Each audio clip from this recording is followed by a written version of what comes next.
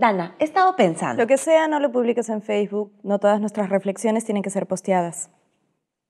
Ya sé qué hacer con todo este amor que tengo para dar. ¿Tinder? No. Perrito de la calle. Prefiero que sigas trayendo esos bípedos machos con los que sales, pero no vamos a adoptar un perro. ¿Por qué? Porque los perros demandan mucha atención. Además, tú ya eres como un golden retriever. Si quieres una mascota, ¿por qué no te compras una iguana? Son tranquilas, silenciosas, vegetarianas. Quiero un cachorrito que me mire con sus ojos tristes y suplicantes de amor. No, Mariale, un perro de la calle puede traer enfermedades. Pensé que la gente de la católica era más abierta, más solidaria, más humana. Sí sabes que Mauricio Mulder y Marta Chávez estudiaron en la católica, ¿no?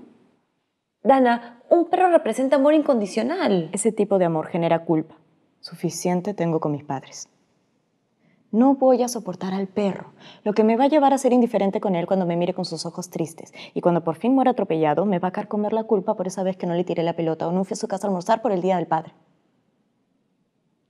Dana, el depa lo alquilamos las dos. Míralo, se ha quedado sin hogar. Uy, Chito, está solito. Como yo.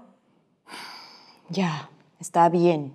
Voy a aceptar solo porque tienes baja autoestima. Gracias. Pero tienes que educarlo para que no se cague por toda la casa. No te vas a arrepentir, soy una excelente entrenadora de perros. ¿No te acuerdas cómo mi Brownie daba la patita? Y una cosa más, no puede tener un nombre ridículo como Lucy, Toffee o Brownie. Evitémosle ahí al final. Tú vas a ser la madrina. ¿Y eso qué significa? Que tú eliges el nombre.